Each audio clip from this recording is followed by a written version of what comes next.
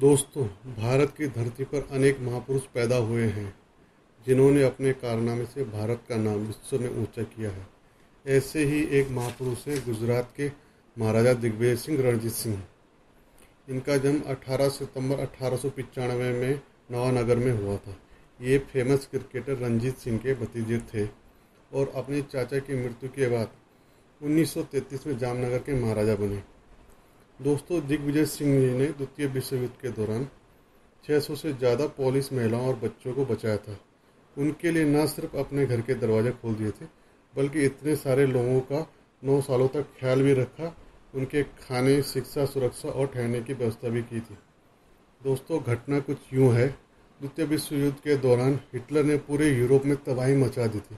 कहा जाता है कि इस दौरान पाँच करोड़ से ज़्यादा लोग मरे।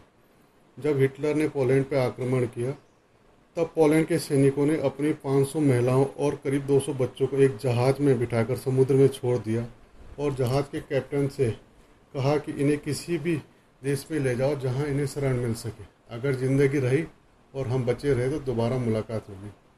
दोस्तों 500 महिलाओं और 200 बच्चों से भरा वो जहाज़ ईरान के बंदरगाह पहुँचा तो वहाँ किसी को शरण की अनुमति नहीं मिली।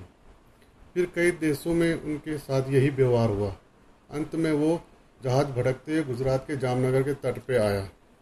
जामनगर के महाराजा दिग्विजय सिंह जी ने इन लोगों को रहने के लिए अपने हवा महल में व्यवस्था की और बच्चों की शिक्षा सैनिक स्कूलों में करवाई।